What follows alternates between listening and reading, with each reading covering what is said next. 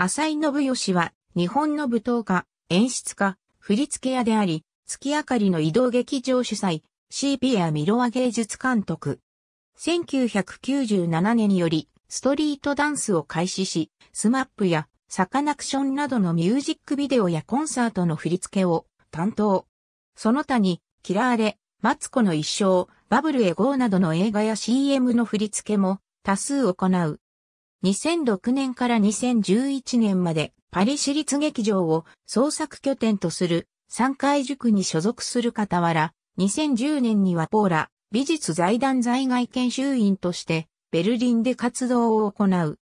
2011年から文化庁、新進芸術家海外研修制度、在外研修員としてイスラエルのバットシェーバ舞踏団へ派遣。その他、クリパシアターやマリアコンといったダンスカンパニーでも活動。2009年よりソロ作品を年2作品ペースで世界各国の劇場やフェスティバルとの共同制作にて発表し、若手現代美術家にとって最高峰と言われるアルテラグナ国際アートアワード2012において日本人初となる特別賞を受賞。ファッションブランドへの作品提供や投信、山本はじめとのコラボレーション作品なども国内外で発表。その他にも、ダミアン・ジャレ、ナワ・アキヒラ、ベッセル、ダレン・ジョンストン、ゼロポイント、ナセラ・ベラザ、ラトラベールらの作品に、ダンサーとして世界ツアーに参加。これまでに35カ国150都市以上で講演や展覧会を行っている。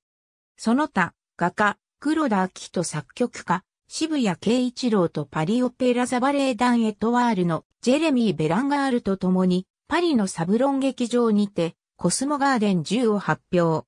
国内では名古屋を創作拠点に移動式の野外劇場を使った月明かりの移動劇場を主催。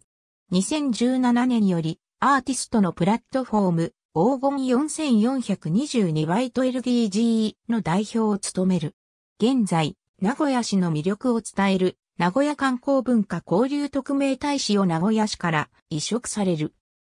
2017年、2016年、2015年、2014年、2013年、2012年、2011年、2010年、2009年、2008年、2007年、2006年、2005年、2003年、2002年。映画、ミュージックビデオコンサート、サカナクション、空と TV、浅井信義、フィジカルシアターカンパニー、月明かりの移動劇場、ダンスカンパニー、CP アミロは、アーティストプラットフォーム、黄金4422バイト LDG。ありがとうございます。